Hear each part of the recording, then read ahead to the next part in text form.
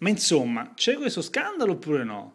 Bersani ha detto davvero che D'Alema deve essere rottamato oppure un'invenzione dei giornali? Le cose in realtà sono molto semplici. Bersani ieri ha fatto un piccolo capolavoro diplomatico. Ha detto che sì, d'accordo, che la ditta dovrà decidere che cosa fare della candidatura di D'Alema, che spetta al partito esprimersi sulle deroghe, eccetera, eccetera, eccetera.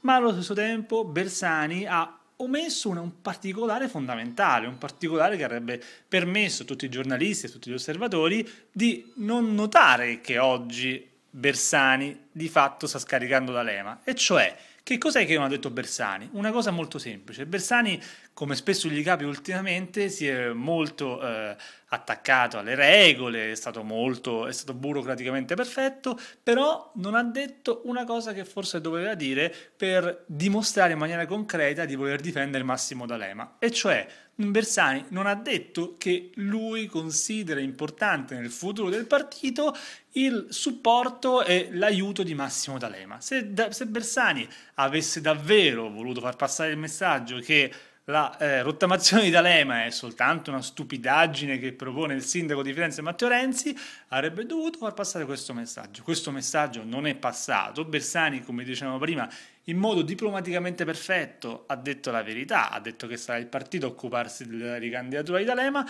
ma di fatto ha, eh, ha, ha, fatto sì che il messaggio che eh, è circolato ieri, sul, ieri sui giornali, sui siti, oggi ancora sui giornali, che continuerà a circolare per, nelle prossime settimane è che anche Bersani vuole mandare via D'Alema. È una cosa che Bersani non ha mai detto, ma è una cosa che fa molto comodo a Bersani sentirsi dire, perché in questo modo il segretario del Partito Democratico a poco a poco e attraverso delle piccole autorottamazioni, delle rottamazioni che egli stesso fa senza dirlo, potrà, potrà, provare a scaricare la pistola del sindaco di Firenze, costringere quindi tutti quanti a discutere non più di mandare a casa qualcuno o qualcun altro, ma di parlare semplicemente di contenuti.